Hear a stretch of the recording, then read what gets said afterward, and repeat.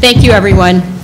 After that amazing panel, the future of college sports certainly is bright, and I want to thank Professor Cossack, President Starr, uh, Britt Banowsky, who is of the Banowsky Drive here. His father was president of Pepperdine University, um, Dave Roberts and Steve Potts. So thank you very much. And so for more bright news or the dark side of college sports, um, we have the law professors looking at the legal issues involved in college sports. Um, how many of you were in on an NCAA pool, getting involved in Little March Madness? All right, how many, who, who usually wins those? It's usually the person who knows the least about sports, but even right. those of us who have no interest in sports get interested in March Madness. So there's something captivating of about college sports. And on the heels of March Madness, we see the money and mania that college sports programs can pr- produce. Um, what other experience brings people together from all walks of life than the passion and cheering for our favorite sports team? People paint their faces, spend $50 on a hat, a flat bill, even more for a jersey, or an, even an NCAA video game of our favorite players, fantasy sports. Um, it, it gets so bad that my students will check ESPN during, during classes. So that's as caught up as we can get into the madness of college sports. But as the pa- last panel, questions raised in the last panel reflected, have we gone too far? College sports as a multi-million dollar industry is very highly profitable, but for the very few. Most athletic programs, as, Dean, as President Starr said, are red and they face extraordinary costs. So should higher education really be in the business of commercialized sports, competing for corporate sponsorships, multi-million dollar TV deals, exorbitantly paid coaches, state-of-the-art athletic facilities, and commercializing at least some of our student athletes? While our educational system is under serious economic pressures, many programs continue to strive to be in the big dance, and it's not cheap. So, should the NCAA be given the power to contain the financial arms race and return college sports to its educational mission? The 1984 Supreme Court decision in Board of Regents versus Oklahoma held the NCAA subject to the antitrust laws and struck down an attempt by the NCAA to protect competitive balance and economic interests of all member institutions. This panel will explore the question of whether the NCAA should be accorded an exemption from the antitrust laws, as well as other legal issues percolating in college sports. So the question, or one of the proposals from the last panel is, let's require all student athletes to play out their eligibility. Should the NCAA, and could the NCAA impose such a rule? Um, Could they impose limits on coaches' salaries? Um, How can we, how can we level the economic playing field? It's my privilege to introduce this distinguished panel of sports law scholars and experts who are going to be taking on these questions. Um, We have Professor Dan Lazaroff, who is Professor of Law and Director of the Loyola Sports Law Institute at Loyola School of Law. I also want to say that Loyola is hosting their sports law conference tomorrow, and students are, are welcome to attend, so an all-you-can-eat uh, sports law conference weekend. Um, More of that tomorrow. Uh, Professor Gabe Feldman, who is Associate Professor at Tulane School of Law and Director of the Tulane Sports Law Program, as well as Associate Provost for the NCAA Compliance. I also want to acknowledge Gabe and his students at Tulane for hosting the uh, baseball, they do both a sports law moot court competition and a baseball arbitration competition that our students compete in. It's, it's very well, well run. Professor Jeff, Jeff Standen at Willamette University is now soon to be Dean Standen at the University of Northern Kentucky Chase School of Law. So congratulations to you on that post, Jeff. And many of you may know Professor Michael McCann, who's professor of law and director of Sports and Entertainment Law Institute at the University of New Hampshire School of Law. And he's a legal analyst, writer, and a pop- popular on the Twitterverse. Um, with, and he writes for Sports Illustrated as well. We're going to start off with Professor Lazaroff, who is going to take on the question of this, whether the NCA should have an antitrust exemption, and he questions whether it's sound policy or letting the fox loose in the hen house. Professor Lazaroff? Thank you. Uh, First of all, I'd like to thank uh, Professor Weston and the uh, Law Review for inviting me. Uh, It's always nice to come to Malibu. It's an easier drive for me than it is to go to work. Um, So the question I was assigned was whether the NC2A uh, should receive some form of antitrust exemption? And uh, my answer is no. Thank you very much. Uh, uh, no, let me explain my reasons why. Uh, my fallback position is actually if it were granted an antitrust exemption, uh, it should be counterbalanced by some protection of the people uh, who would be adversely affected from the elimination of uh, uh, more competition in the various marketplaces that the NC2A affects. Um, I see a tale of two NC2As, really. I think, I agree with the commercial I always see where they say most NC2A, athlete, NC2A athletes will be going pro in something other than sports. That's obviously true. Uh, the overwhelming majority of NC2A athletes are not going to make a dime playing professional athletics. Uh, in fact, the majority of men's basketball and football players will not earn money as professional athletes. Uh, the percentages are really quite small. Uh, nevertheless, I view men's uh, Division One basketball and FBS top-level football uh, as involving serious commercial markets uh, on a variety of levels, whereas I view the other sports that are often referred to as negative revenue or non-revenue sports as more in line with the traditional student-athlete amateurism model uh, that the NC2A wants to apply across the board. Uh, as uh, Professor Weston mentioned, beginning in 1984, uh, any notion that the NC2A should be uh, treated as simply a, fosterer of educational values uh, was blown to bits by the Supreme Court's decision in Board of Regents, which dealt with the football uh, television plan for college football. And uh, as a result, and, and I, I, think we see a lot more output, uh, a lot more college football on television, and a uh, rearrangement of the way in which revenues are distributed because of that. And the court was emphatic in, in saying that uh, absent pro-competitive justifications, this obvious restriction on output and uh, price could not be justified.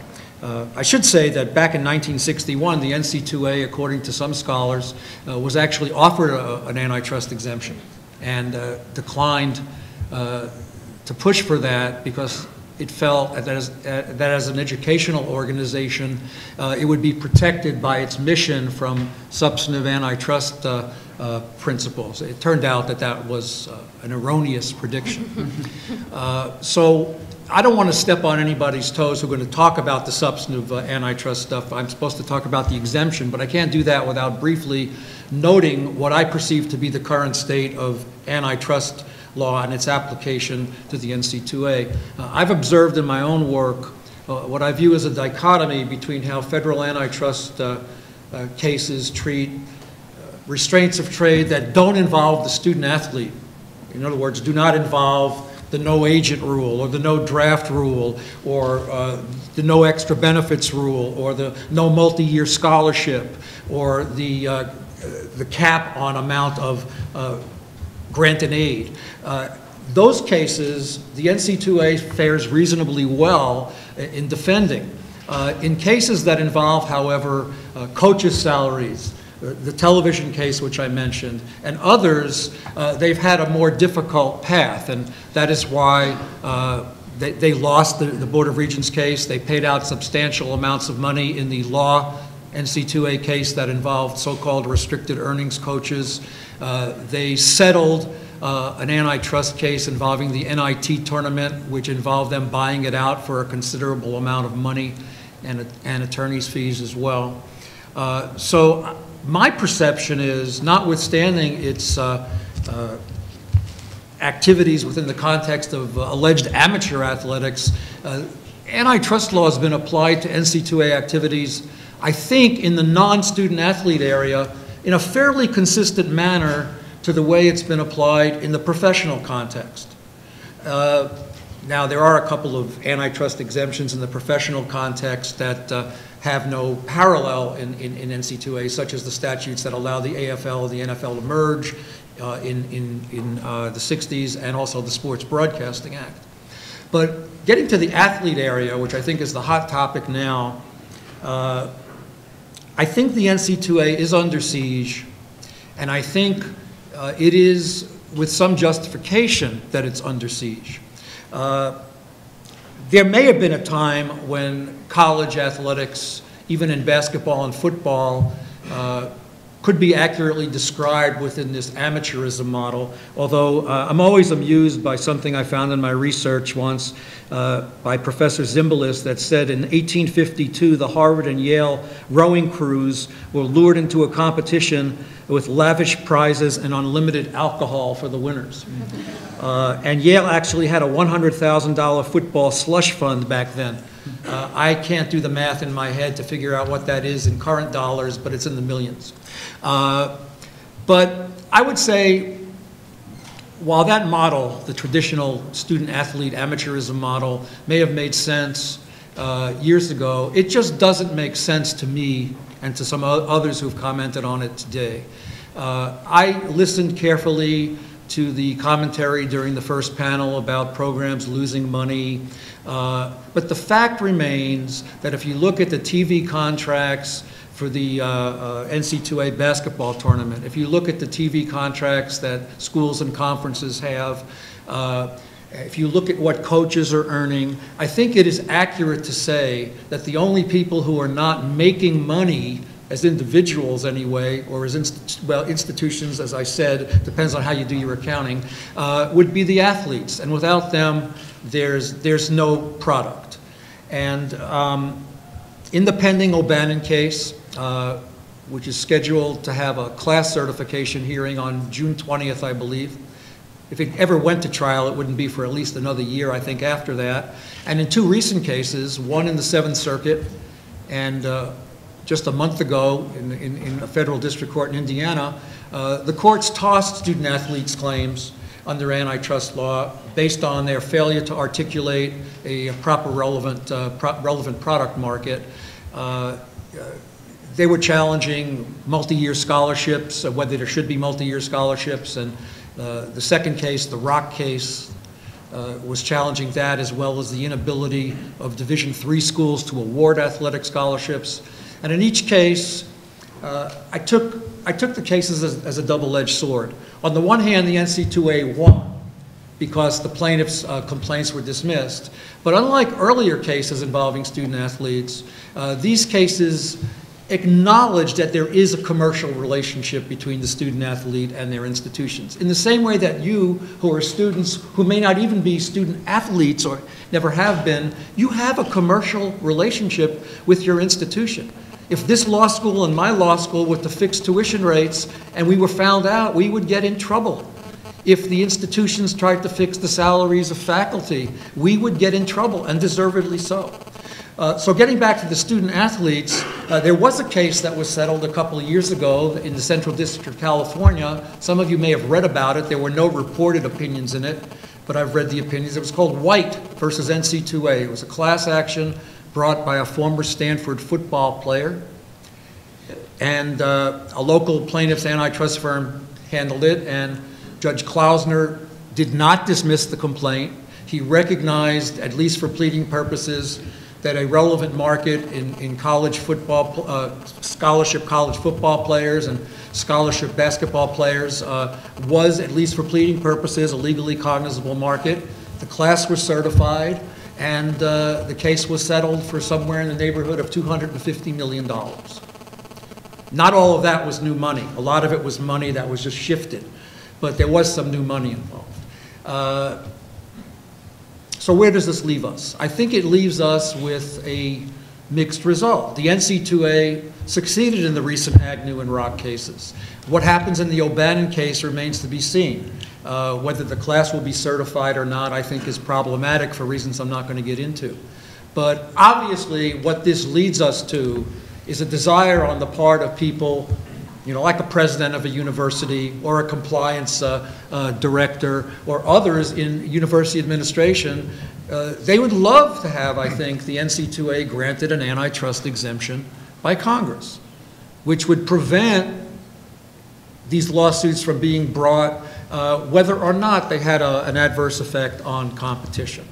Uh, the reason I oppose that uh, is that um, the rationales that have been used for granting antitrust exemptions over the years by, co- by Congress, and then there's an area of non-statutory judicially created exemption, which I'm not going to talk about.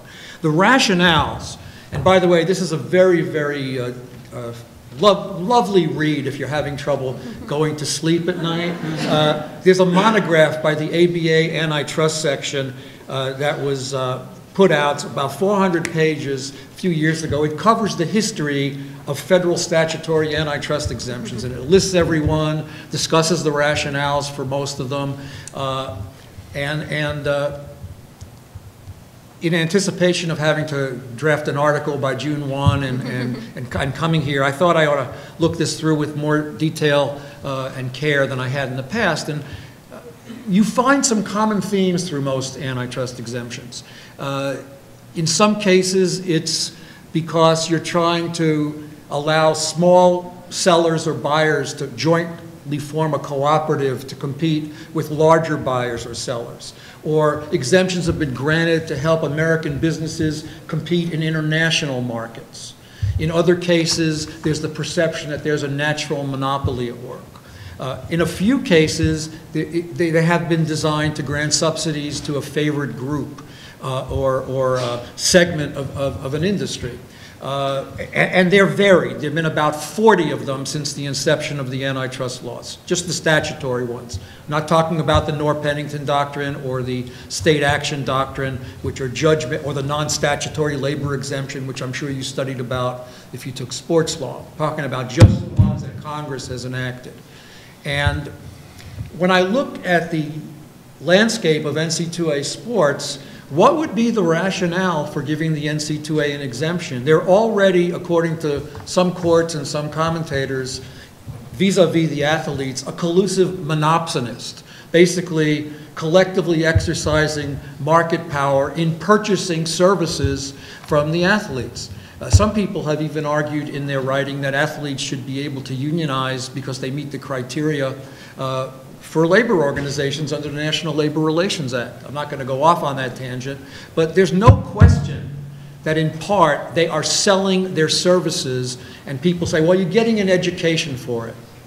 But if you listen carefully during the first hour, what they're really getting is an opportunity to get an education, which in many cases they know going in they're not going to really pursue. If you're good enough to be one and done, in some cases, your coach will tell the media that you're not going to be back next year, even before you announce it. That happened uh, in the last couple of months.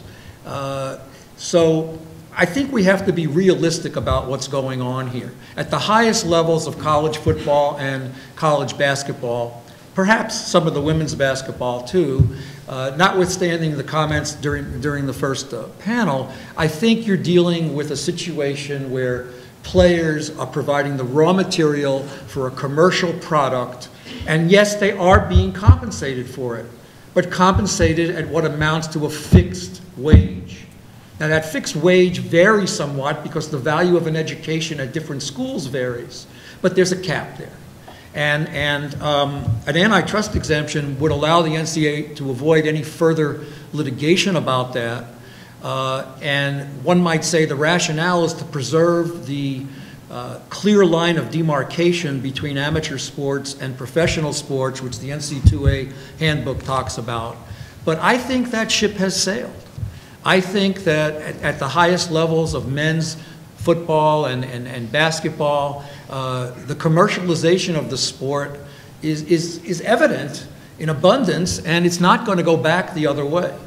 So I've seen proposals for antitrust exemptions ranging from a broad one coupled with providing due process to people who uh, are charged with antitrust, uh, with uh, NC2A violations. My problem with that, as much as I would like to see the NC2A provide more uh, fairness of process to those charged, is that that doesn't address the anti-competitive concerns of some of their regulations at all. It addresses a basic fairness question. And speaking of fairness, in the first uh, session, people were saying, well, we think it's fair that, you know, people are given an opportunity to get a fine education in exchange for playing. Well, the question under federal antitrust law is not whether you're getting what somebody thinks is a fair uh, wage or a fair price, it's what the market will bear. And there needs to be a strong rationale, it seems to me, for deviating from that model. And I don't see it here where you have a dominant uh, uh, organization comprised of over a thousand different schools. In this recent case, the Rock case in Indiana, the judge said, well, you don't have to go to an NC2A institution. But to me, that's comparing uh, playing hockey in the National Hockey League with playing in, in, in some uh, over 30 league at the local uh, uh ice skating rink. They don't compare. Uh, the, the, level of quality and exposure don't compare. They're not reasonable substitutes for the athlete. So uh, I know that we have limited time. So what I'm saying is that if you, if, if Congress were to reject the idea of doing nothing and wants to provide some sort of exemption, uh, what do we do to counterbalance that reinforcement of, of, market power that the NC2 has, both as a seller of their college uh, athletic product and as a buyer of, uh, in the input market of the raw materials, the, the labor, if you will, the players. Uh, and, and that to me would seem to involve some sort of oversight, but who would do the oversight? I mean, is it, is it good to uh, in, in involve some sort of federal agency uh, in overseeing all these schools and whether uh, the, the purposes for which the exemption would be granted, whether those purposes were being furthered? Some rationale for the exemption is will there be more money left over for women's sports and men's non-revenue sports? Uh, okay, so, so the answer is, well, how are you going to ensure that that be done? So, so my position is, uh, unless a more clearly persuasive rationale can be articulated, uh, I would not be in favor of granting an exemption. I would rather see the NC2A have to defend itself in court. And frankly, uh, maybe this tips my hand a little, I think uh, whether it's in the O'Bannon litigation, which is after, if the class is certified, or in some other litigation, the courts need to recognize the economic realities that exist now in big-time college sports. The men's basketball players and the football players, and perhaps some of the women's basketball and volleyball players, are not in the same position uh, as the non-revenue sports. As was said during the first panel, if you look at the number of hours they have to dedicate to practice and conditioning and other things, they are essentially workers. And, and uh, since my time is up, I'll just have to elaborate on this if I get asked questions about it, so thank you. Thank you. Thank you, Professor Lazaroff. Each of the speakers is contributing an article to the Law Review, and we want to thank you for that. Um, and next to take on a who is proposing how to tame the NCA antitrust beast, we have Professor Feldman.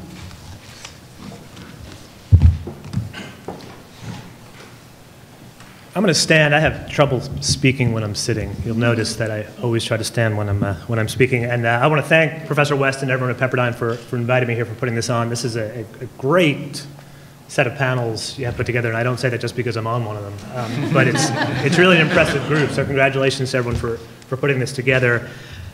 I'm going to start with my conclusion, um, just so I can get it out there. So, spoiler alert, if you plan on reading my article, this is how it ends. I agree with Professor Lazaroff that the NCAA is not, should not be entitled to an antitrust exemption, but I understand why they want the exemption. And it's not just, I think, because they want to gouge and exploit student athletes.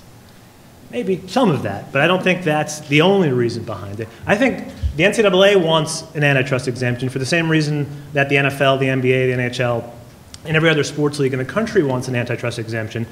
Part of that, again, may be because they want to gouge their workers and their players, but I also think part of it is they don't believe, one, that antitrust law should apply to sports, period. Two, I think they believe that antitrust law cannot apply to sports. And I think the NCAA probably has a stronger argument there. And I think it's a stronger argument because of this Board of Regents case we've been talking about, and because of this amateurism defense that's out there. So let me now back up and, and walk us quickly through this amateurism defense that was born in large part from this Board of Regents case. And, and really where I want to start is the, the notion that we've heard a lot today, and, and the question that's been raised by this panel and a lot of other panels, is Is amateurism, the idea of amateurism, dead? Have we reached that tipping point where it's no longer going to be a valid antitrust defense? Is it, has the sport of big time college football, big time college basketball become too big to, with a straight face, say that amateurism is still alive? And lots of reasons to be able to support the conclusion that it's, it's going to collapse onto itself, that, that it's dead. And we've talked about some of those this morning. If you think about the exploitation of college athletes, what, what they're required to do, the risk they put themselves at, how much they give and how little they get. And you can focus on whether it's Ed O'Bannon or you can focus on Kevin Ware, the sacrifices they make. Now, Kevin Ware, that was not the NCAA intentionally, gruesomely breaking his leg, but when players go out there to play sports, they put themselves at risk with no promise of compensation. We all put ourselves at risk when we play sports. I'm not saying that we should all be paid for every time we play sports. I broke my leg playing touch football. I don't expect people to pay me. I know, it's sad. I broke my leg playing touch football. It's, it's true. Just leave it at that. Um, but if you put what the athletes go through, and we talked about, well, the school spends seven times as much money on these athletes, and because they maybe put in seven times as much work, you compare the sacrifices they make versus the billion dollar television deals, the million dollar coaching salaries, the chase for the money, conference realignment. That disparity troubles people, understandably. We talk about what the right solution is, but that's problematic. At least atmospherically, it's problematic. What I want to suggest to counteract the notion that this is it, this is the end, the NCAA is going to fundamentally change because of this disparity. What I want to suggest is this is not new.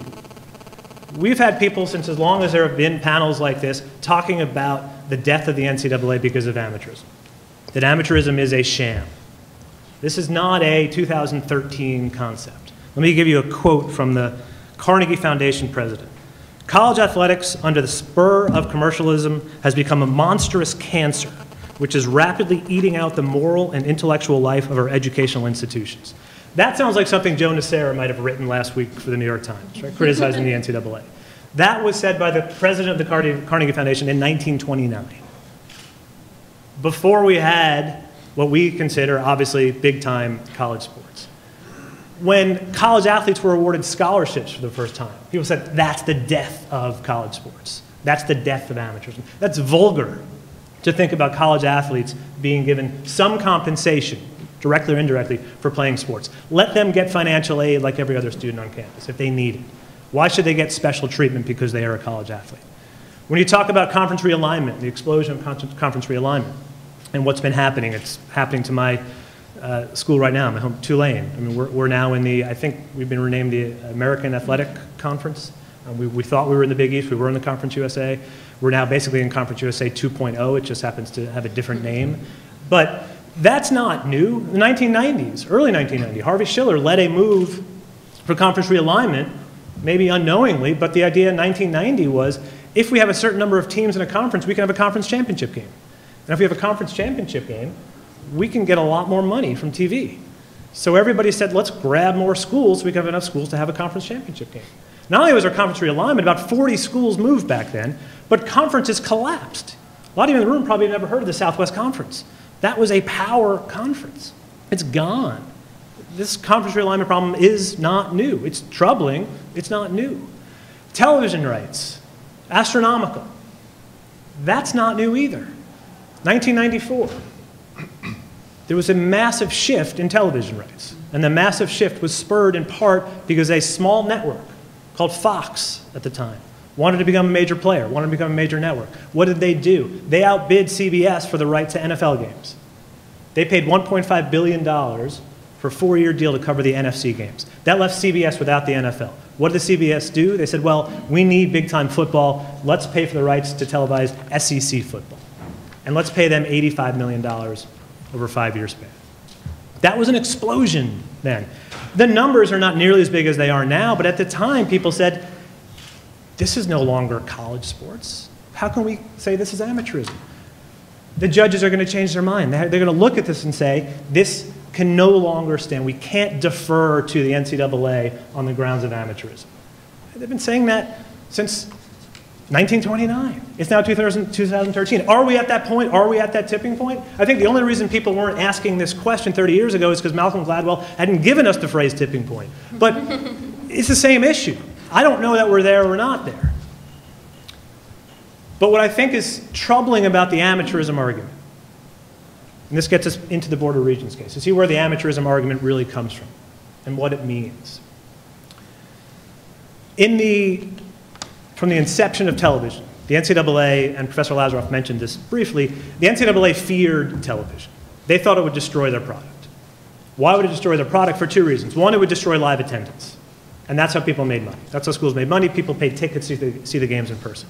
They also thought it would destroy competitive balance. It would create a TV aristocracy. That the teams that were on TV more often would get more money, attract more students. There would just be a dominant few schools. So they said in order to protect the game, we need to limit televised football. And their limit was not particularly flexible. The limit was you cannot televise football games first. And they said, well, maybe we should be a little less restrictive so you could be on television one time a year. And that eventually morphed into the plan that was challenged in that Board of Regents case. That said that the two networks combined who were covering college football total could show 48 college football games in a given year. Total. Each network could only show 24 games. Think about that compared to today. If you turn on a television during college football season on a Saturday, you can watch 24 games on that Saturday.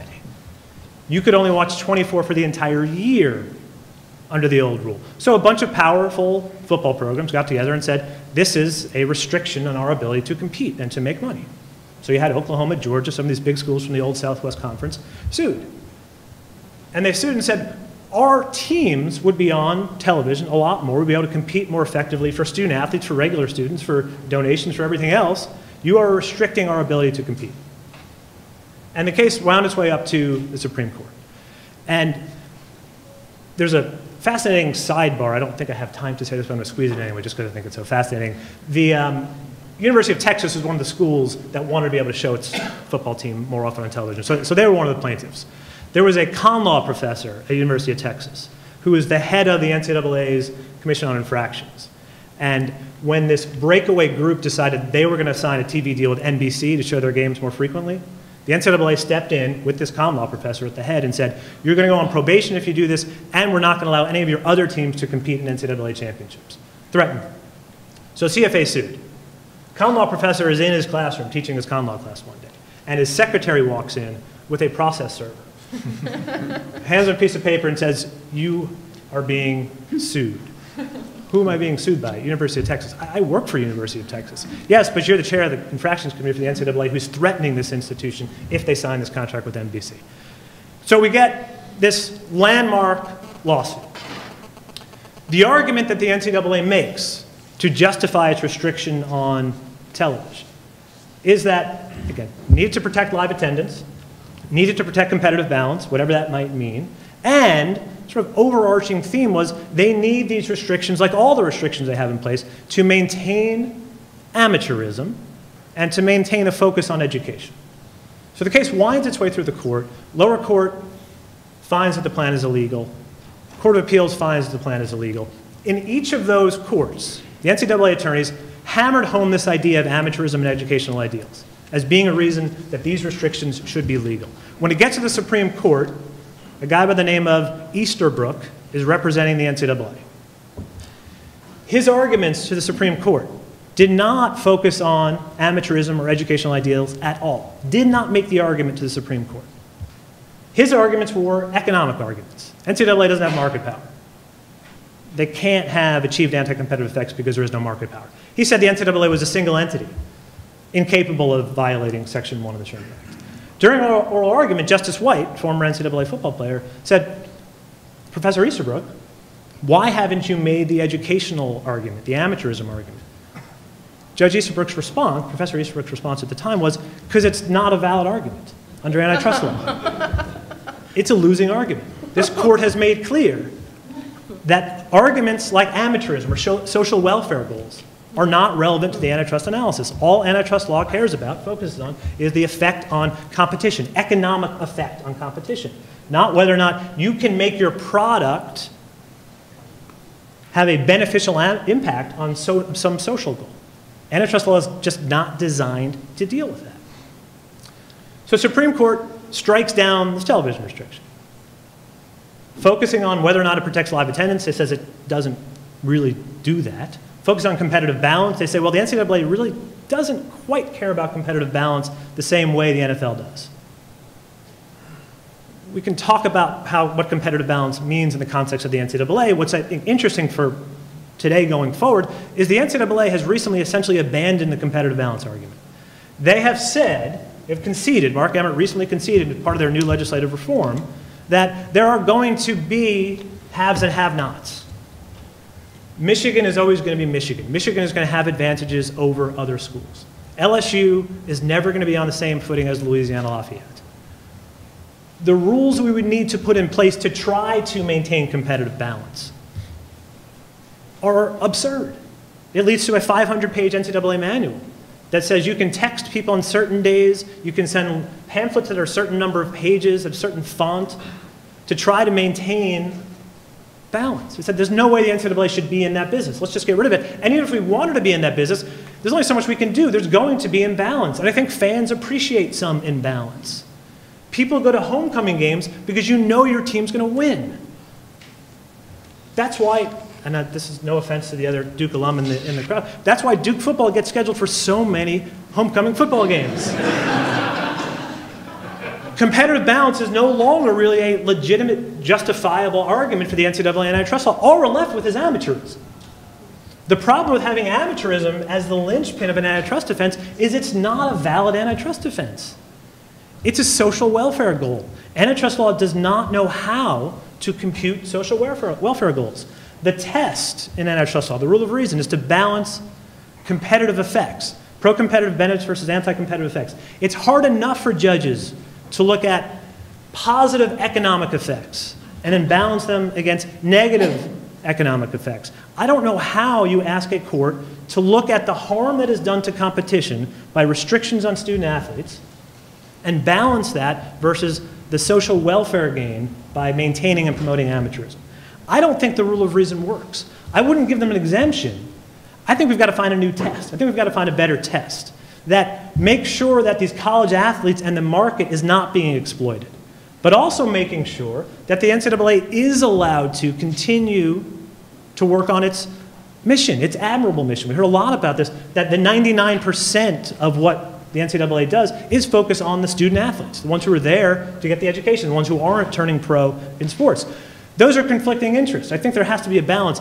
I don't think the rule of reason can do that balance. I don't think it's equipped to do that. I think the challenge is to come up with a test that can do that. So I'm working on that challenge. I have a modest proposal at the end of my article. I don't have time to go on it now, but I'm going to stop there because um, I'd like to leave some time for, for Q&A. But, but I just, when, when thinking about what that Board of Regents case did, and it struck down the television restrictions. It led to this arms race we have now. But it also gave this very valuable weapon for the NCAA's antitrust arsenal. I, I just don't think it makes sense from an antitrust perspective. So I will leave it at that. Thank you, Professor Feldman. After hearing about that Texas con law professor, I'm not going to be accepting these little note cards because it could be a summons. Um, so I will, but I, we're, we're also going to plan time to have live audience. Um, but you can do the note cards too. But um, okay, thank you for that. Next, we have uh, Professor Standen talking about foot faults in crunch time. So I'm, I'm looking forward to hearing that uh, as an avid tennis player. So looking at sports law and antitrust reg regulation, Dean Standen. Thank you, and uh, thank you, Professor uh, Weston. It's wonderful to be here. What a what a great and uh, famous law school. Congratulations to all the students who are in attendance here. Uh, this is a special place, and uh, I'd never been here before. I got here last night and took one look at the view and immediately texted my resume to the dean. so it's, uh, uh, it's, a beautiful spot along with a uh, great law school. So I'm very pleased to be here. Thank you for the invitation. Um, I want to make a couple of suggestions, I suppose, uh, by, by, way of commentary on the first couple of speakers as to why the NCAA and, and other sports organizations are so eager to escape the the clutches of antitrust law and why they want an exemption. It's, uh, well, the obvious reason it's a good thing and people want good things, But I'm going to go a little further and suggest that antitrust is itself a terrible regulator. It's a terrible uh, statute and causes huge problems for people who are subject to its, uh, its provisions, and that's why they want out. Um, everyone wants out of antitrust law it, because it, it's, a, it's a bad rule of law, and the reason it's a bad rule of law is because, as Professor Feldman uh, mentions, uh, is because of the rule of, of reason.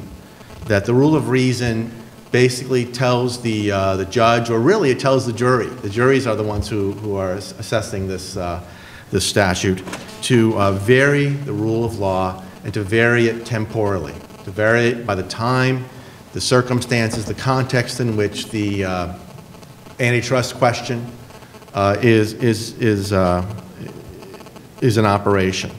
And so the antitrust law is the ultimate, as I think of law more generally, the ultimate law in terms of temporal variance, varying the, the call, if you will, of the official by the time of the game.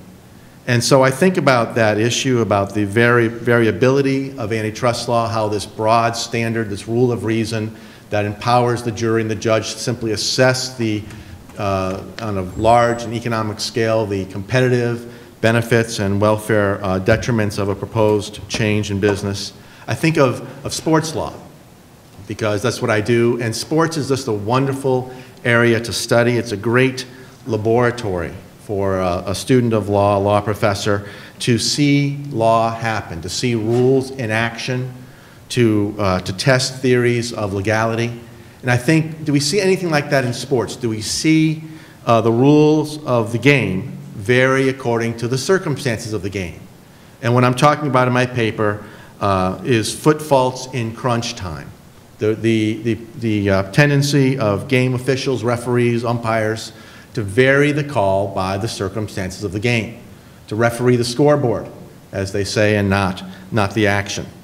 So I wrote a lot about uh, foot faults in crunch time. I'm referring to the event a few years ago where uh, Serena Williams was in the final uh, match of the U.S. Open, and at a clutch point toward the end of the match, the, uh, the lines person, I guess it would be, called a foot fault on, on Serena, and she got a little upset uh, by that. But in the comment, as I watched the event on television, the commentators were saying, oh, you, you don't call, make that call at this time. You don't call a foot fault in crunch time. Uh, in other words, the, sorry? Especially on Serena. Yeah, that's what, I that's what they really meant. But uh, and it, it, it, troubled me a little then, and I want to write about it here. It was why? Why should the rule of law, which antitrust totally embraces, vary according to the circumstances in which it's applied? Um, and does sports give us an answer? So I wrote a very, for me, a very fun paper. Enjoyed every every minute of it. Um, good luck to the editor. But I, but I had I had fun just thinking about that issue. It's a, it's a, it's an issue in sports law. It's an issue, of course, in all of jurisprudence. So it has some bigger connotations. Um, and, and I, a couple of thoughts. I wrote the paper and presented to you. It's, it's still in draft, but uh, I'll, I'll, just highlight three of the, uh, of the arguments I make there. I make several others. But first of all, um, I want to address the idea of no harm, no foul. Uh, I'm not sure to, who, to, whom to attribute that quote initially, but I'm, I'm arguing that that's a myth. That there really are no rules in sport and I'll perhaps um, in a moment or two, if I have time, uh, analogize that out to antitrust law and other bodies of law. But no rules of sports really are, in fact, harmless. Um, a pitch that is not a strike is a ball. Every pitch in baseball incrementally affects the probability of winning and losing on behalf of the teams. Every play in basketball, every call in football, all of them incrementally affect the, the, the odds of winning uh, something in sports is always gained or lost, and therefore all decisions by the, the umpires, the judges, the referees, to call a foul or not call a foul, to impose a penalty or not impose a penalty, um, has repercussions. In other words, I argue in this part of the paper that a decision not to enforce the rules is in fact never costless. Um, all decisions to enforce or not enforce have, have a cost. And what I'm arguing against there really is uh, HLA Hart's idea that some rules of law were, were, are, are meant to be varied temporally. He talked about, he, he, he had this notion, Hart did, of the, uh, he called the power conferring rule of law. And his, his example was, uh, was the uh, famous example involving the requirement that it takes two people to witness a will for a will to be an effective instrument. And, and Hart's argument was, well, if there's only one witness to a, a will, then, and someone writes a will with but one witness, then nothing has happened. In other words, one simply failed to, to uh, create the will, and therefore nothing in a legal sense happened with the only one witness will. And my argument is that, although perhaps that applies there, there are no rules in sports, and certainly no, not in antitrust law, that are in fact look that way. That's power conferring. The failure to throw a strike is not simply nothing happening, it's ball one. The failure to hit a serve in tennis that's in the boundary is not just a failure to have a proper serve, it's also fault one, I think it's called, right? A fault, first fault of a two fault system. So all rules uh, have, of sports have, and all enforcements, I should say, have, uh, have harm uh, attached to them, and non-enforcement as well. Point two uh, is, uh, point one was uh, no harm, no foul is a myth. Point two is um, you never know, even when you know. That's Yogi Berra said that, and uh, you never know, even when you know. And as, as always, the great sage was, was correct. You never know, even when you do know. And what he's talking about there, what I'm talking about there, I suppose, is this idea that the referee at the end of the game or in certain situations should not call a foul, you know, should swallow his whistle, as they say in, in uh, basketball, or don't call the ticky-tack, I hear that phrase, uh, call, expand, don't call strike three in the ninth inning, right? Make it a really good strike, right? Uh, Those kinds of things you hear said. Don't call foot faults in crunch time, as Serena seemed to be saying as she threw her racket and stuff. Um, I think she was saying that. Uh, that, that sort of thinking, uh, it's, it's, it's wrong. It's uh, because you never know even when you know. In other words, the idea expressed there, and Mitchell Berman, Professor Berman talked about this in his Georgetown Law Review article just a, a, a few months ago, or I guess a year, about a year ago now. But Berman, speaking about sports law, uh, speaking about referees making calls in clutch time, he said, he said that they should be aware and should be mindful of the consequences of their calls that the reason the umpire, the referee, doesn't make that call in the clutch, in the, in the waning moments of a close contest, is because that penalty, that uniform penalty, will so impact the likelihood of victory, uh, will so uh, create the opportunity for defeat, if you will. On the other hand, that uh, the referee uh, call will be so consequential that he shouldn't make it there. And uh, I- I'm taking the side against that of Yogi Berra to say no, that that's a bit of a myth, that the referee never really knows what's coming next, right? The, the call of ball four in the second inning might start a rally that, that puts one team so far ahead, the game is effectively over. The call in the first quarter of uh, pass interference to negate uh, touchdown play or, or whatever that would work, or holding, I guess, to call back a touchdown play in football. It takes the seven points, as they say, off the scoreboard. That could be game deciding right then. The, the entire point, in fact, of the modern Moneyball era, with the, with the modern analysis of game metrics, is to say that, that is to wash away that whole idea of, of clutchiness. There's no such thing as a clutch hitter, say the Moneyball people. It's just a question of application of probability from large sample sizes to the, uh, to, the ne- to, to the next contest at hand. All at-bats are the same. RBIs are, are luck. They're not, a, there's no- there's no such thing as a clutch hitter right? That's the whole point of Moneyball, is to strip away those perceptions that we, the fans, try to uh, add in to our enjoyment of the game. And the same thing is true of antitrust, uh, is my point here for today, that basically, when the courts and the juries are asked to predict the market effect, pro and con, of a hypothetical change in business practice, they're making a guess as to the future. They could be in the second inning for all they know. They could be in the end game. They have no idea where they are. It's, it's a national economy, an international economy that's going to motor along long after, um, you know, this conference is over even, I'm hoping, right? There's always going to be in America. Put that in, in the notes there. So, uh, you know, how, it's a prediction about, uh, antitrust asks a jury to make a prediction about these, these forces, uh, uh, um, the the repercussions of its decision that I don't think anyone could, can make. uh, even a trained and highly skilled economist couldn't make those, at least not too convincingly. Um, How can legality change if the law doesn't? Antitrust laws are, are written, they are- don't, don't change. How can legality change temporally? What's a foul is a foul, second inning or ninth. And finally here, I'll I'll keep it a little short, uh, the last point I, I want to make here is uh, uh, quoting Casey Stengel, "Rules is rules. Rules is rules," he said. And uh, uh, and, and, and he's right, that it's, it's not, rules is rules. It's not a good idea to vary the penalties of law according to the effect of, uh, on the wrongdoer of the penalty. Right? In criminal sentencing, if uh, the rich man commits crime A and the poor man commits crime A, well, then ideally, person A and per, uh, these two people, the rich and the poor, serve the equivalent one year sentence. The federal law, anyway, prohibits federal courts from saying, you know, the effect on the wealthy person of a year incarceration will be a substantial loss in income, might be disbarment if he's a lawyer or a stockbroker, right? Might have huge effects on some industry, right? All these are prohibited considerations, right? That we say, no, turn a blind eye to that. Otherwise, we'd have a prison, well, we kind of do, but populated by comparatively poor people, with wealthy people saying, well, I just got a, I just got a week and paid a gigantic fine. Now, there is some trade-off, I know, I worked in that area for a long time. There is some trade-off, I know, between the two, but by and large, the law says that our ideal is no, one person, one year. You know, we don't look to the circumstances. Rules is rules. And uh, antitrust law says the opposite.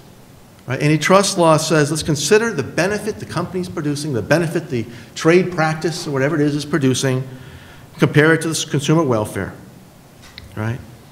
Um, but even the civil law, we don't, we don't excuse the poor person, if you will, from a, thank you, from a large damages judgment, even though he or she can't pay it. The judgment is still taken. The debt may never be collected, but the judgment's still taken, right? We, we never excuse uh, the imposition of penalties, even where there are potentially devastating effects on the, uh, on the offender. We just impose the penalty and deal with the effects later on. So I just a couple minutes left. Um, I'm going to go one step further. Okay, the entire trend in sports officiating, and I would argue in law, is completely against what we see in antitrust law. I would give it up if I were you specialist. I would I'd move on. Because why? Because look at look at sports. I always look there. Instant replay is designed to do one thing to eliminate foot faults in crunch time, to eliminate temporal uh, variance in game refereeing. We don't want the official in the NFL saying, well, it was a marginal call, looked like a catch, such a clutch moment, we'll give it to him or whatever. No, the, the, the replay comes in, right, right, to take away that discretion. And the referee will look at every angle tediously, right? Every possible, you know, finger on that ball to make the decision about whether or not the ball was caught, right? Or the home run reached the stands, right? On. So, so the trend in sports, the trend in law is to eliminate discretion on the part of officials. Criminal sentencing, I alluded to that a moment ago. Sentencing guidelines, a huge innovation to eliminate discretion from a judge. What, what the judges thought to be their most essential moment of discretion, that is the sentencing of criminal offenders, taken away. Okay? So antitrust law is an outlier. Uh, antitrust law, which invites, by its very standards, invites this, this uh, uh, variation according to circumstance, is an outlier. Um, I could talk more I, I, about this, I did. But uh, I understand sports, right? Fa- you know, you, you might say, well, you know, it's fast-moving situations involving judgment. We need to imbue the, the referees with judgment, right? And that they're going to sometimes use that to, to not call foot faults in crunch time. And maybe that has merit there. But antitrust law doesn't feature fast-moving athletes. It, it features slow-moving base business people, right? And uh, it presents no special call for temporal variance in its applications. Right? In fact, I would go further, I'll, I'll close with this, um, that its, its broad legal standards uh, actually militate in favor of invariant applications, right? Because we can distinguish with, in a principled way between, I would suggest, between reasonable and, and an uh, um, um, and unreasonable restraints in trade. Uh, But that, the, the curiosity to me is that antitrust law has evolved in precisely the opposite way, to the point where temporal variance, contextual variance in application is the norm of antitrust law, not the exception. And to me, that appears a damaging proposition, damaging to the uh, creation of, of principles of law that would, over time, I would suggest, promote vigorous market competition, which is what antitrust law is supposed to, to further. So, thanks. Fascinating presentation, Jeff. Next, we have Pr- Professor McCann, who is going to take us in another direction, but then bring us back. Um, So we're all going to either fear flying or or get on board here. So he's going to take up the case of Royce White and talk about anxiety disorder. So I'm all ears. Uh, Good afternoon. Thank you, Professor Weston. Thank you, uh, Dean Tacha, and also thank you to the Pepperdine Law community for having me here today. It's an honor to be part of this panel. I also want to highlight the work of Michael Wood, who is on the law review. I don't know if he's in the room, but I think as every panelist can attest to, I've never been part of a panel where the student has done more for preparation and logistics, and uh, it's pretty exemplary work. So if Michael is here, I want to just uh, acknowledge him. But I think he actually stepped out. He's probably doing logistics right now He is. for lunch. He so is, he is. it's quite fitting that he isn't here for that recognition. So today I'm going to talk about my article in the Pepperdine Law Review. It's entitled, Do You Believe He Can Fly? And generally speaking, it's about the role of disability law for players with mental health conditions, and more specifically, it's about an NBA player who, as a consequence of general anxiety disorder, is afraid of flying. For most of this season, he has not been with his team. Most of the time, he has been home, and most of the time, he has been communicating almost exclusively through Twitter. The player's name is Royce White, who, until he left for the NBA last May, was a star college player at Iowa State. In fact, at Iowa State, he was the only Division I basketball player in 2011-2012 to lead his team in points, rebounds, assists, steals, and block shots. That's five categories. That's pretty remarkable to have any player do that. He has the size uh, of, a of a power forward, the skill set of a point guard. Some have compared him to Ma- young Magic Johnson. He's not that good, and I don't think he would ever say he is. But you get the idea of what kind of multi talented player Royce White is. In fact, based purely on talent, scouts say he would have certainly been a top 10 pick in last year's draft, and some even say he would have been a top three pick if you take away a part of him that is greatly limiting his career. And draft position matters because in the NBA, it's the only way to get into the league. You have to go through the draft to be eligible. And the NBA uses a rookie wage scale where where you're picked dictates how much you're going to make. In last year's draft, the number three pick was guaranteed a two year contract worth at least $8 million. $8 million. Player pick 10, $4.5 million. Player pick 20, a little less than 3 million. All of them making a fortune, to be sure, but you can see that where you're picked in the draft has a huge bearing on how much you're going to make, and also if there are any agents in the room, what kind of commission you can expect from that player. White fell in the draft to the Houston Rockets at number 16, which netted him a guaranteed three and a half million over two years. A lot of money to be sure, but much less than what his talent would have suggested he would have gotten. And what hurt White in the draft was mental health. Specifically, as I mentioned, White suffers from general anxiety disorder, also known as GAD. GAD refers to persistent, excessive, unrealistic worries about everyday occurrences. These worries can be outright disabling. Although numbers vary, a conservative estimate on the percentage of the population that has GAD is about 5%, so a pretty good number. GAD can cause a whole bevy of problems sleeplessness, stomach pains, shortness of breath, panic attacks, many other symptoms. A GAD is brought on by what are called triggers. Triggers are circumstances that wouldn't bother us, but for people with GAD, cause them to suffer these really debilitating occurrences. Uh, for some, it can be fear of dental procedures. Now, I don't like going to a dentist, I can assure you, but I don't you know, have a massive uh, reaction to the thought. Uh, also, fear of escalators. And for Royce White, it's fear of going on a plane. Now, a lot of people don't like flying. Uh, flying isn't comfortable. I just flew from Boston uh, to here. Uh, and as pretty as New Hampshire is, my God, Malibu. Uh, I, I think I'm with Jeff. I think my resume is uh, hopefully you didn't beat me to the punch. Uh, but, but, but for many, while flying is an uncomfortable experience, it isn't disabling. I think there's a, there's a point where it, it changes. White has had it, he believes, his whole life. He grew up in a small town in Minnesota and didn't fly much.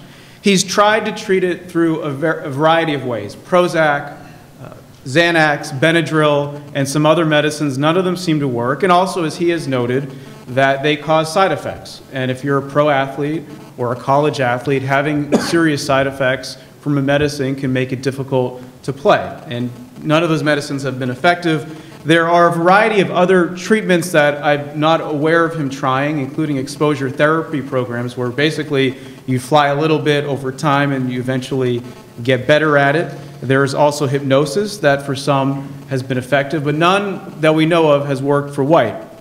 White's not the first athlete to deal with the severe fear of flying. Jackie Jensen, a right fielder for the Boston Red Sox, and the American League Most Valuable Player in 1958, had to end his career early because of flying. As baseball started flying more, that disability became a, a pretty considerable issue for him. We all know that legendary football coach John Madden doesn't fly.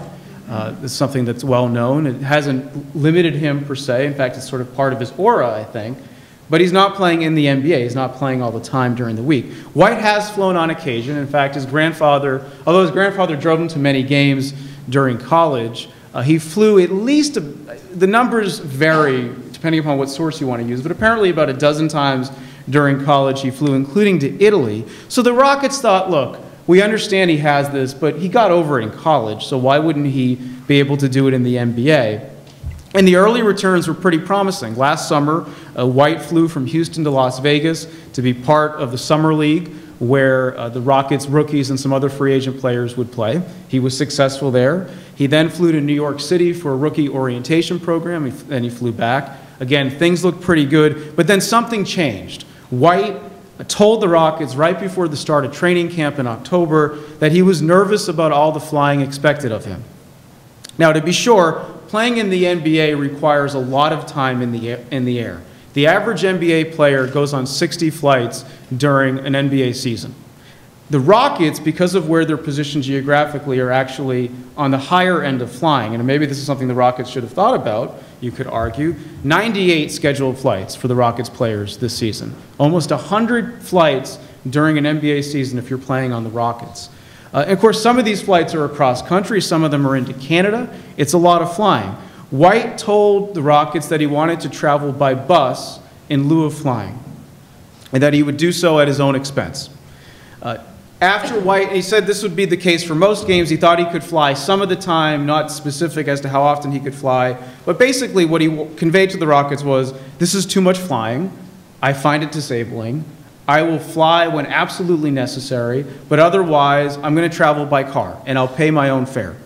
After White missed a week, week of training camp because the Rockets didn't go along with this, and just, you know, you hear a week of training camp, you don't think that's a big deal. If you're an NBA player, that's a huge deal. If you're an NBA rookie and you missed your first week of camp, you're missing some crucial time, and it certainly isn't going to reflect well on your coach that you're not there. Uh, the Rockets told him, Look, we're invested in you. We want you to succeed. And you could argue that the Rockets' interest in Royce White are the same. The Rockets want him on the court. It doesn't serve their purpose to have him at home, and it doesn't serve Royce White's purpose to be at home. Uh, and initially, it looked like they had struck a deal. White came back to work. They reached some type of agreement where he would fly only when absolutely necessary. He went to training camp but didn't play all that much. And then he, the team told him that he was going to be reassigned to the D League team for the Rockets, the Vipers. Uh, he said, no, that's not going to work. And he decided to leave.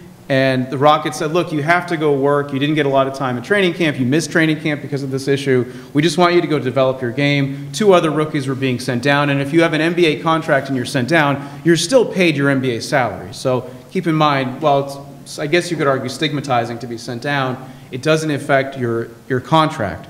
White said, in essence, I'm out of here. And he went home. And he stayed home until the middle of January, where during this time, he took a lot of shots at the Rockets on Twitter. Uh, he argued that the team was insensitive, that he argued that uh, the team was not, was essentially discriminating against him. Uh, he has almost 200,000 followers on Twitter. He tweets, varies, but 50 to 100 times a day uh, is not uncommon. He's created a Twitter hashtag named Anxiety Troopers so that people can find all of the related tweets to his condition. And he, keep in mind, he doesn't say fear of flying. He says it's general anxiety disorder. And this is something that he's communicated to me about, that he argues that this, you, I'm talking about fear of flying, but it, that's the only part of it. That's just a trigger. The fundamental issue is not fear of flying, it's that he has general anxiety disorder, which is brought on by fear of flying. Uh, I will say that some of his tweets were, were pretty harsh of the Rockets, and I know the Rockets uh, were reading them and not particularly happy about them. Uh, at the end of January, he and the Rockets got together and agreed on a mental health protocol where White wanted to have an independent doctor decide whether he would have to, whether he could play in a game. The Rockets would not go along with that because the Rockets said, we can't amend our, your contract. Under labor law and under the collective bargaining agreement, we're unable to make this type of concession to your contract, to make it essentially special for you. Uh, however, the NBA approved uh, an agreement where White would have a doctor who would have input. It's not clear how much input and whether he can play. They went along with that. White was sent down to the Vipers, and he played there for a couple of months. He played 14 games for the Vipers, including a 68 hour car ride uh, to go from San Bern- Hidalgo to, to Santa Cruz in order to play in two, two games because he didn't want to go on a, on a plane, obviously, given his disability. Uh, middle of March, White left the team again. Uh, he said that the very hectic playoff schedule was something that just wasn't going to work with his disability. He left and then about a week later came back, and then he left again. And now, last I know, he's back but not playing. So that's where Royce White is right now in, in his career. Uh, it's unclear what the Rockets are going to do beyond that. Uh, my impression is that the Rockets may not keep him. Oh, I don't know that as a fact, but I know that the Rockets have found this to be a pretty, pretty challenging situation.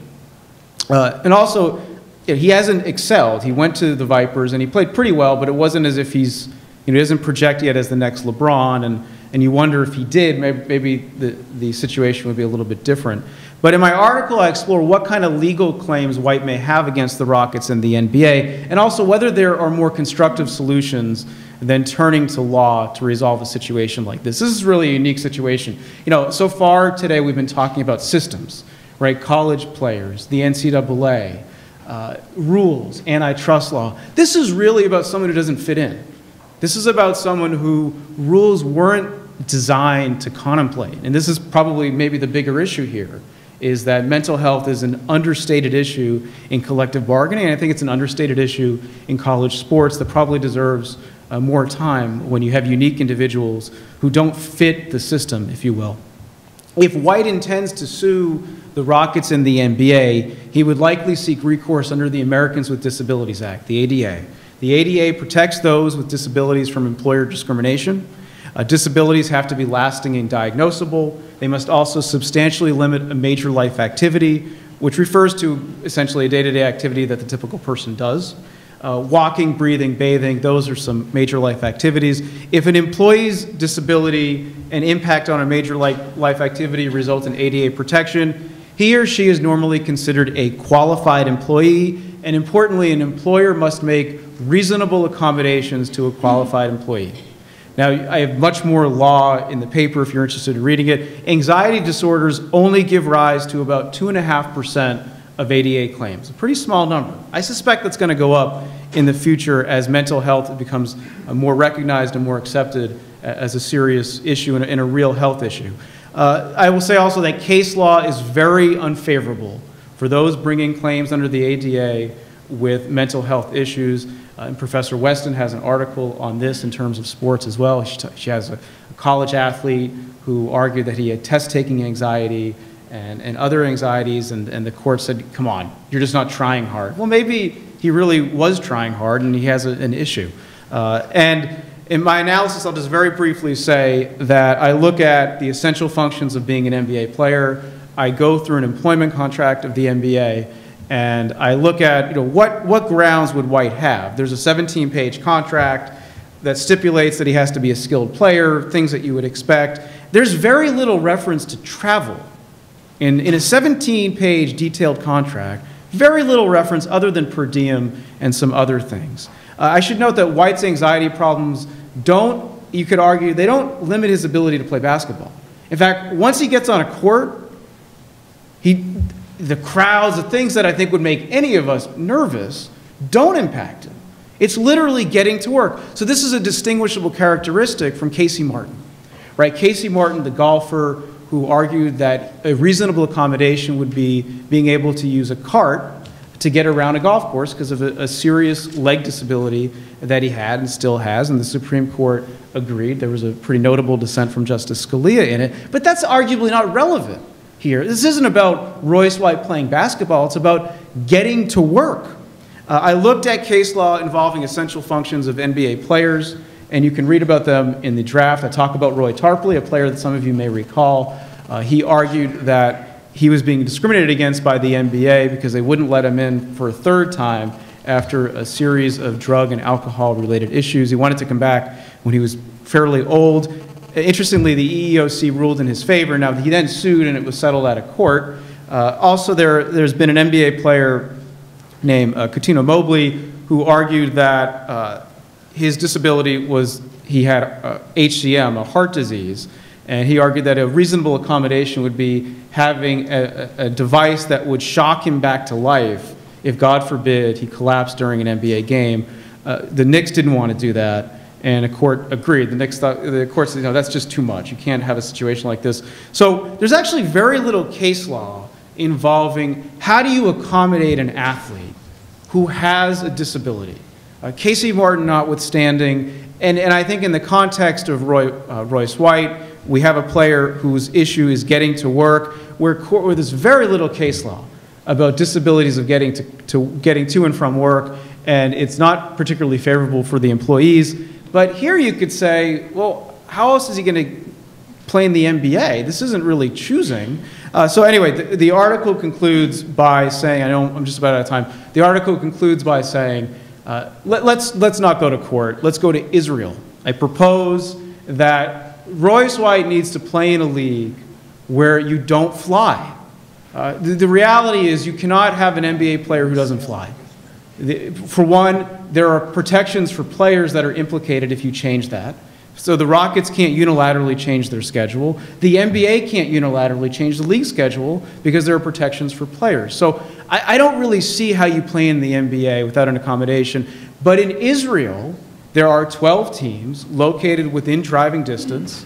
Uh, of course, he would have to get there some way. I get that. Someone's going to say, well, how is he going to get there? There are boats. Swim. You can swim, you can take a boat. Uh, and, and, and I know salaries are not the same in Israel, but they're not bad. In fact, I talked to a couple agents and they told me he can make 250 to 500 a year. It's not as good as the NBA. He's not as, as much of a celebrity. English is spoken in Israel. There are a bunch of American players there. Uh, it's an interesting, I, I, mean, I think it's interesting. I don't think it's going to happen, but uh, then I, the article concludes, as I'm concluding, by saying that uh, the NBA and Players Association, and also more broadly speaking, sports, and it can include college, they have to be thinking more about people who don't fit the norm. That it's not only about systems, it's also about those with unique conditions, that perhaps there are ways of creating more input for, for physicians in situations like this. Thank you so much. I'm out of time. I appreciate the opportunity. Thank you very much. Um, I'd like to open this up to the panelists if you have questions or responses to each other. Professor Lazaroff? Uh, a couple of quick responses to Gabe uh, and, and generally about the rule of reason. You know, the amateurism argument, I don't think is completely dead because some of the case law says to the extent the NC2A is branding their sports as uh, different from professional sports, and to the extent it's perceived as not the equivalent of, say, AAA or AA baseball, uh, that's expanding output by providing a different product. The problem I have with that argument is not with the theory, but with the facts, because as I said, my view is that distinction distinction's already broken down.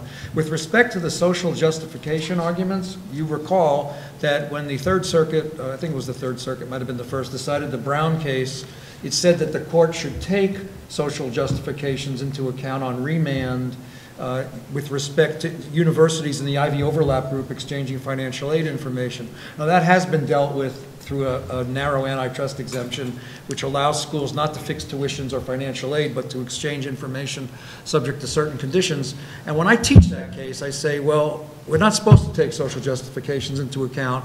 How can the court do this? And people generally look and say, well, they just did it. And I say, well, if you think about it as expanding the output of educational opportunities, you might be able to work it into a traditional antitrust analysis, just as in the context of NC2A sports, if in fact keeping caps on what players can get would actually increase opportunities for non-revenue male athletes and female sports, uh, you might be able to work it into a, a, an antitrust argument if in fact uh, uh, that's, that's what, what is going to happen. I'm not convinced that the money is really being being channeled that way, uh, uh, not uniformly and, and, and arguably not enough. And with respect to the general comment about antitrust law uh, being a, a waste of time, uh, I reject that emphatically because it's what I've done for 30 years or so.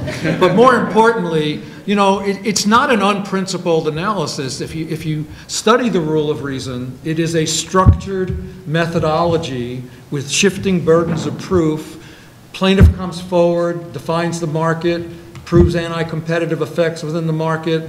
Defendant comes back, offers pro-competitive justifications. Plaintiff can then rebut by showing significantly less restrictive alternatives. Uh, it's not just a free-for-all. And so uh, my response to that would be we use reasonableness tests in various areas of the law. It's a little more complicated here, but I think it works and it keeps a lot of us employed. Um, Maureen, Uh, Did Gabe, was that a question directed to you? and then- I want to re- respond. May I? Okay. Oh, go ahead, okay. you go first. I'll go next. Okay.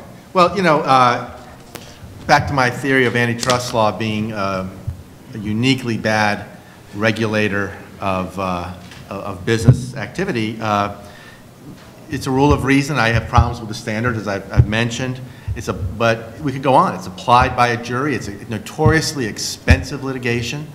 Uh, you know, antitrust law is, and, and it- it's, it's hard to predict answers. So it's not a very useful rule of law for uh, business enterprises or, you know, uh, joint enterprises like the NCAA to make a, a solid prediction as to whether their next proposed activity will, will violate that law. So, uh, yeah, I do, I do, I find it very problematic. But Go ahead, Gabe, sorry.